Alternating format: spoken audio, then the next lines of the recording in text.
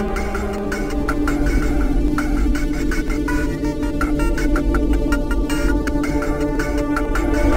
tell me we're not going to a hippie commune. No, we're not going to a hippie commune. It's just a vacation. Applecart is an odd name for this movie that is uh, basically a take on the whole upsetting the apple cart idea. I've been told the producers are going to change the name of the film, and I think that's a great idea. But the upshot of this idea is there's a family led by the wonderful horror stalwart A.J. Bowen, who is taking a trip out to stay in a cabin out in the mountains in the woods that the mom has decided that there's healing properties. Audible eye roll. Anyway, AJ's sick, he has cancer, but he's still in the, you know, the good stage. They're there with their daughter and son and the daughter's best friend. So everything is kind of proceeding as you expect for your kind of standard horror movie. Family, out in the cabin in the woods, young sexy teenagers, what have you. And then suddenly it goes to a television show that shows us what happens after the movie with uh, the, basically the, the bulk of the family being murdered or disappeared. And you're like, what the hell is going on? This is really early in the film. And then it shows a commercial with Barbara Crampton as like a local politician running for, I think, the Senate. You're like, what is happening in this movie? Okay, well, well, I'm not going to promise you that it has all the answers because that's not definitely not the kind of movie we're looking at here. It does indeed give you an idea of where this thing is heading eventually. And where it's heading to is kind of a goopy, icky, uh, bit of a gore fest.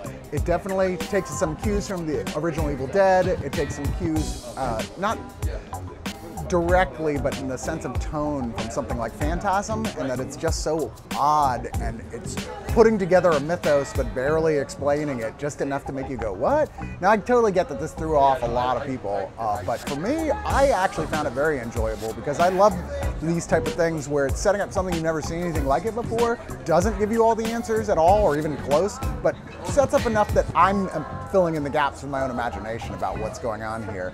Sad thing is, not many people liked it, so I'll probably never never get answers with a sequel, but hey, what are you gonna do? Applecart is not my favorite film of the year, to say the least.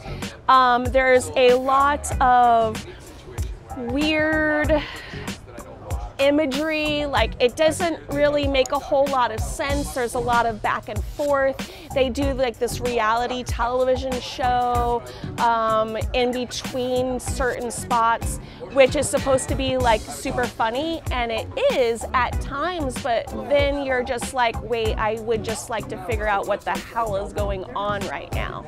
So Applecart for me was not a big hit, but I definitely recommend it for those of you who like more campy movies, who like more tongue-in-cheek movies. I think you'll like it a lot, but for for me and more horror, like hardcore horror fans, it's it's not not good.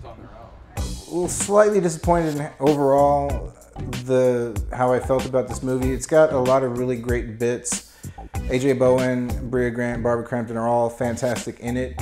It's one of those really odd movies where you've got three really good performances, yet everything around it just doesn't quite add up to uh, an overall great movie. Parts of it are really good. It's definitely something I think people should watch if you're a fan of any of those three people, um, but it's not something you'll maybe want to revisit. Um, slightly disappointed in Apple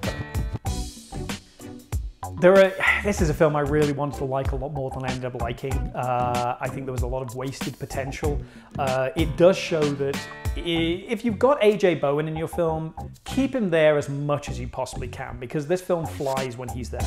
When he's gone, it really starts to drag. It's a little over-egged. I think it's a little over-edited. The director uh, actually did say that he did 143 different cuts of this, and it kind of shows. I don't think this film is quite sure what it wants to be. There's a lot of potential in there. Maybe it needs a, a, a 144th or 145th cut, or somebody coming in and doing a new cut to really make this work. It's a little bit of a shame that this is not more successful than it is. What's coming next?